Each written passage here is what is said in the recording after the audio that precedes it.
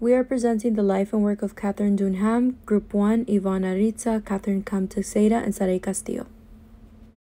Katherine Dunham was an American dancer, choreographer, and anthropologist who was widely regarded as one of the most influential and groundbreaking figures of modern dance.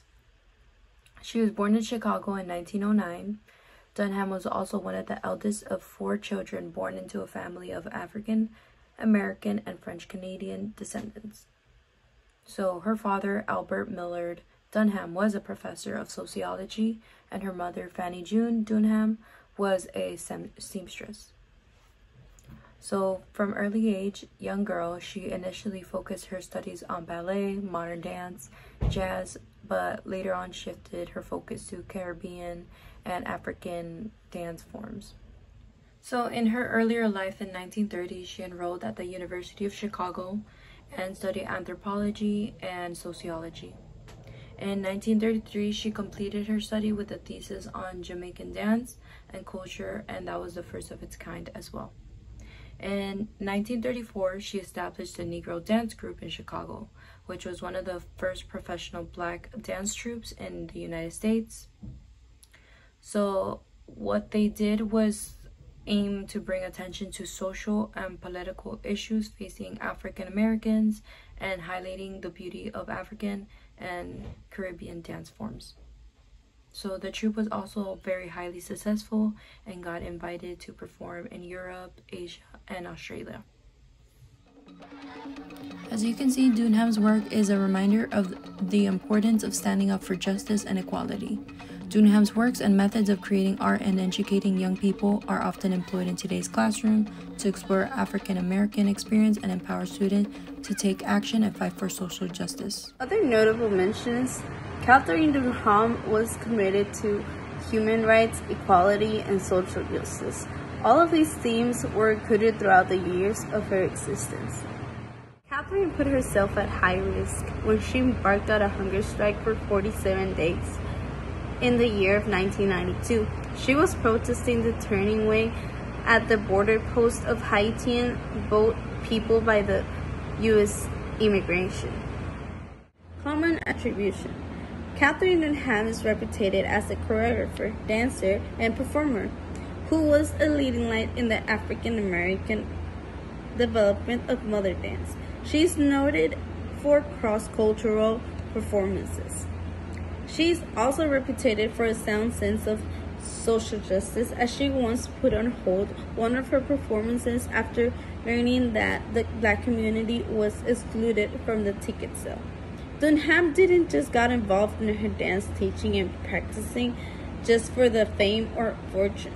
She believed in the portraying the best ideas that will put all humanity for equal footing.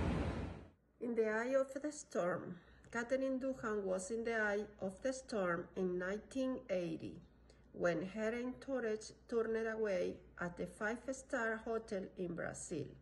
She was credited to have made a storm over the incident with extensive publicity across many channels. This storm led to the promulgation of the Afonso Arinos Law, which made racism an act of felony in the South American nation of Brazil. Her literary works, Katherine Dunham went on to write a couple of books to document her childhood experiences and the lessons she picked up in her life work. A Touch of Innocence, Memoirs of Childhood was published in 1959 in this book, Dunham's history of the chaos and conflict that entered her childhood after her mother's early death. The island possess come along in 1969. In this book, Dunham tells how the island come to be possessed by demons of voodoo and other cults imported from Africa.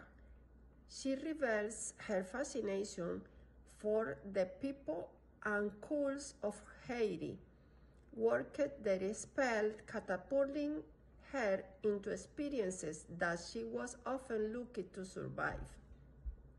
During her day, heyday in the 40s, 50s, and 60s, she was renowned through Europe and Latin America as La Grande Catherine, and the Washington Post called her Dances Catherine the Great. For more than 30 years, she maintained the Katherine Dunham Dance Company, the only permanent self-subsidized American black dance. True at the time and over her long career, she choreographed more than eh, 90 individual dance.